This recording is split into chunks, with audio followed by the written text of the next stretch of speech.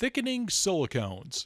In this video, we're going to explain the basic process, and it is a very basic process, of thickening silicones for brush-on applications.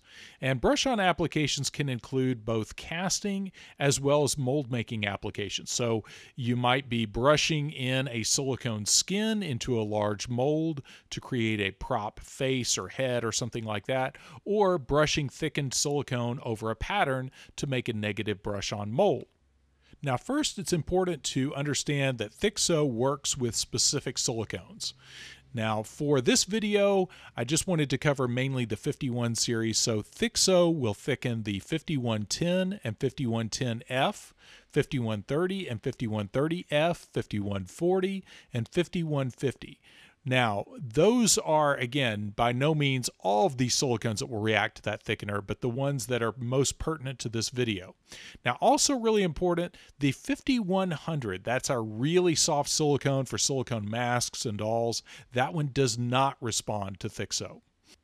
Now this also, Thixo can also be used with our TinCure silicones, the 5092 and the 5091. But when in doubt, consult the product page because we will always say on the product page what silicones respond to which additive product. So always check that out when in doubt. Now first we're going to thicken up some 5110F and 5110 comes in two speeds, the regular and the F which of course is the fast formula. And this is a fast setting soft platinum silicone that is great for uh, skin material as well as for soft stretchy one piece molds.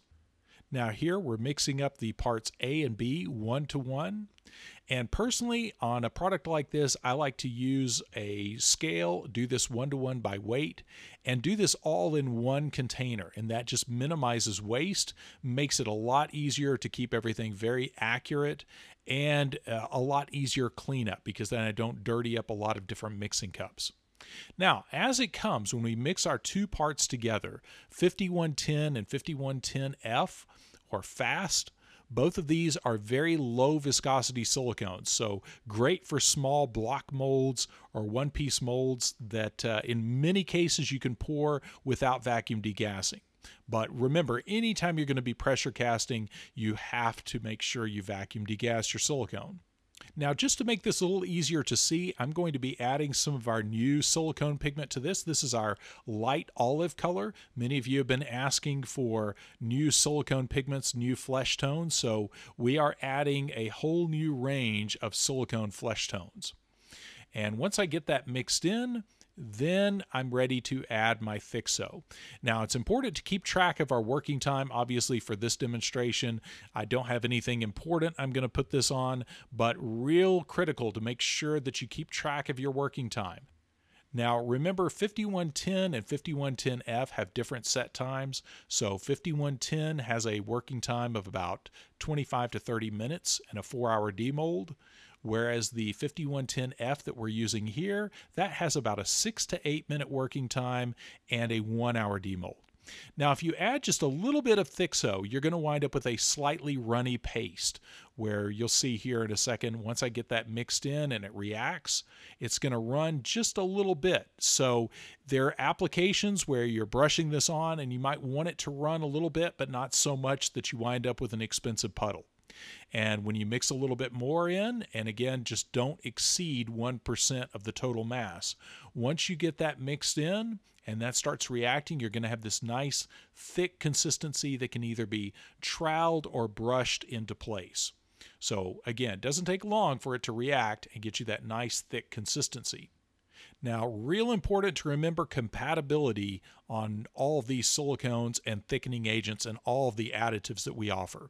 Uh, you can always check the product description on our website of any of our silicones to make sure you are using uh, additives or thixotropic additives that are compatible with that silicone because there are some cases where some thickeners may compromise the tear strength of some silicones. So when you're using different brands of thickener and different brands of silicone and adding those all together, sometimes that can uh, result in some weird things happening. So, again, always check the product description to see what the compatible additives are. So here I'm troweling this and brushing this on a piece of sign board. And you see we got that really nice thick consistency there. So again, for brush application, if we're brushing a skin or troweling a skin on or into a mold, very easy to do that when we add that high percentage of Thixo. We wind up with a nice thick uh, thixotropic paste that stays on a vertical surface.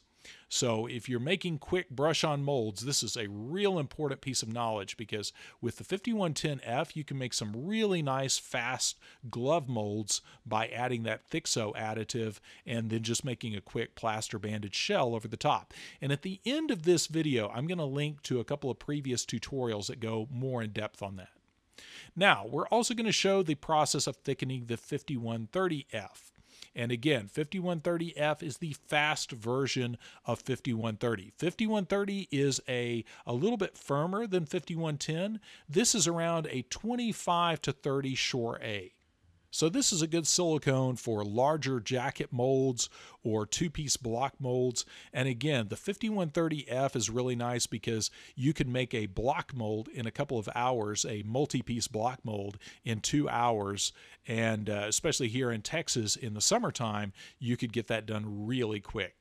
So again, this is a little higher viscosity than the 5110, but still very low viscosity as silicones go. So there are some applications for some of you making fairly simple, straightforward molds where you get away with using this without vacuum degassing. But again, very low viscosity, and just like the 5110, uh, the 5130, the normal formula of that, has a working time of about 25 to 30 minutes and a four hour demold. Now, the fast version that we're using here, the 5130F, this has about a six to eight minute working time and a one hour demold. And that six to eight minute working time is long enough that you could easily vacuum degas this, and there's still plenty of application time. So if you're doing uh, brush on molds that require a little extra attention, uh, 5130F has enough time to be able to do that and still has that fast one hour demold time. So there we have our silicone mixed up with, I added just a little bit of red pigment just to make that a little easier to see. And of course, it should go without saying that you always want to make sure you're using compatible pigments. So obviously here we're mixing silicone, so we're using silicone pigments. And then again, just like with the 5110, we're adding just a little bit of the Thixo additive. And again, if you just add a little bit of that Thixo additive, you're going to wind up with a slightly runny paste. But in this case, we added uh, just shy of the 1% mark. And that's going to give us a nice thixotropic, almost peanut butter like paste. And real important to play around with the silicone. Make a small batch like this and play around with it and see how it responds to thickener and see what uh, percentage is good for your applications. But uh, really important to understand and know how the thickener reacts with the silicone and just know what to expect once everything's mixed up right. And that way, when you're troweling this onto a vertical surface or brushing this onto a pattern, you know exactly what to expect and then you can start playing with again like for a, a print coat using a very small amount of thick Thixo and then building up to a really thick paste to fill deep undercuts. Now at the end of this video I'm going to link to our skull video where we make a mold of a skull using the 5110 because that's a great simple glove mold technique that can be done over a variety of small patterns. So be sure to check that out as well as a video where we make a brushed in skin using the 5110 thickened with Thixo additive. So be sure to check those out. But again, you see here that uh, with that Thixo added, it reacts almost immediately and gets us a nice thixotropic paste much like peanut butter that we could easily brush onto a vertical surface. And again, we can back off of that. We could put less in it if we want it to be a little bit runny. It just depends on the application as to what's going to make the most sense. And this doesn't affect the working time, but you will notice the working time kicking in a lot more when you add the Thixo, just because now you're going to be playing with the silicone. Unlike a poured mold, you're going to be brushing this on and manipulating it with a trowel or a brush right up until it starts to gel. Now this is right at one hour later, and you'll see that the cross section of that and using the Thixo does not affect any of the set time at all. And I always like to use whatever's left over in my mixing cup as a gauge to see how things are progressing. And that way I don't accidentally stick my finger in some wet silicone. So always use your mixing cup to check your work before you start pulling or uh, peeling off a piece of silicone or demolding something. And you see there we have nice, strong, stretchy silicone, even with the Thixo additive. And both these pieces still have the nice same stretch, and that can either be, again, brushed or troweled onto a vertical surface. And the same thing with our 5110. Again, before I start poking at it, always like to demold whatever is left in my mixing cup. It's also a good way to grade your mixing and just see how well you're mixing, because if you do that, if you peel that out, there's a bunch of sticky spots in there, you're not mixing thorough enough. And again, here's our uh, parts peeled off. And You see we have that really nice high elongation. And both brushing and troweling, we both have that nice stretchy piece of silicone. Um, but again, cannot stress this enough. Always make sure the additives that you're using are compatible with the silicone that you're working with. We've just introduced a lot of new silicone formulas, and one of the things I found is there are some formulas out there that have different base resins, and that the, some of those they might thicken with some silicone thickeners, but then it might compromise the tear strength. So, again, always check the product description on our website and make sure everything you're using is going to be compatible. So it's important to remember the use of Thixo anytime you're encountering mold applications where you're going to be making a brushed on mold that could be done in multiple layers. It's a real good idea to have a good understanding of how the Thixo responds to the silicone you're working with so you can control that and do very thin, light paste consistency on the print coat and then work up to a really thick consistency for filling deep undercuts.